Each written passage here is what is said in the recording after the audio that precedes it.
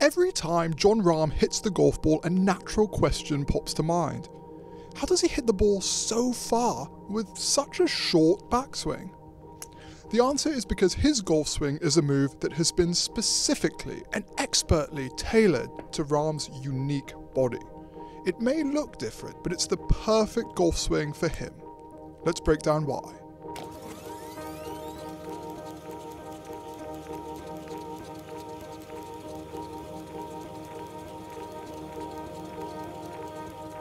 I dare say there's nobody who's done more for the swing your swing movement in recent years than Jon Rahm. It's become mainstream thanks to Rahm's help, but it wasn't always easy. Growing up, Rahm says people were constantly trying to convince him to change his golf swing, to make it look more conventional and normal. They had one swing method, right, which is how can we make you have a perfect looking swing because that's supposed to be better right? Um, and I remember going to this academy, first day, they don't care how you're playing, how you're hitting it, what you're doing. They take a video with the six iron down the line, down the front, driver down the line, on the front, and they tell you this is what you need to do to have a perfect lane to a parallel shot, perfect numbers, perfect theoretical swing, without caring if you can or can't do it. Now, for two years, I fought with coach saying, I am not doing that. You teach me how to hit a draw or a fade with what I have.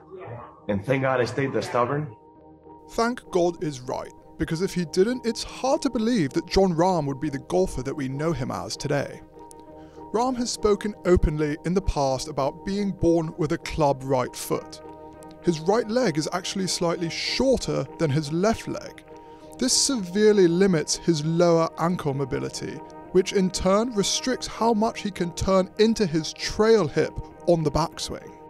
Rahm's coach, Golf Digest top 50 teacher Dave Phillips, who also co founded the Titleist Performance Institute, said that if Rahm tried to turn into his right leg too much, he would end up coming out of his posture and over time would probably end up injured. It's why we see a young Rahm as a junior golfer standing straight up like a beanpole at the top of his backswing. But over time, Rahm started to realise what he can do and what he can't do physically. And then he started to build a swing around both. He may not be able to turn his hips as much as others, but what he could do was bow his lead wrist. That, in many ways, is his golf swing superpower, says coach Dave Phillips. His lead wrist has gotten more and more bowed over the years, which he matches up with a traditionally weaker lead hand grip that's more in his palm. Loading his lead wrist like this helps Rahm's already big, strong upper body pull the club down really forcefully on the downswing. It's a bit like a lifter pulling a huge amount of weight in a short amount of time. You simply don't need that big a wind up when you've got as much brute upper body strength as Jon Rahm. And finally, Rahm's backswing may be short, but it's also really fast.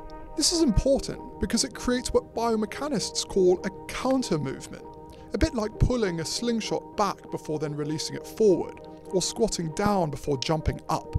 A faster backswing puts more clubhead speed into the system overall. Simply put, a faster backswing creates a faster downswing. Put all these things together and you get Jon Rahm, a golf swing built around maximising his strengths and one that is uniquely his own.